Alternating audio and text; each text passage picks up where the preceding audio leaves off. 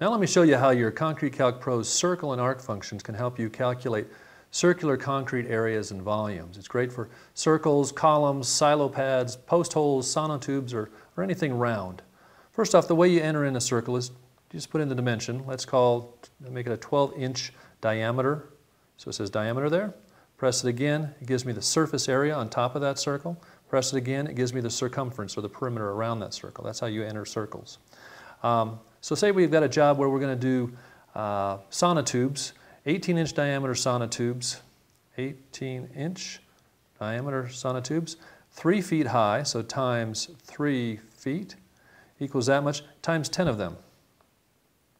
So you need about 1.9 cubic yards of concrete for those. Let's add maybe 5% for waste, and we're right at 2 cubic yards for that particular job. You can also use the built-in column cone function for figuring out cylindrical volumes and cone volumes. Say we've got a uh, 24 inch diameter circle and we're going to make it uh, 8 feet high. 8 feet is our height. Now we'd hit convert and over the circle key it says column cone. First press will give me the column volume. That single column takes 0.93 cubic yards. Press it again.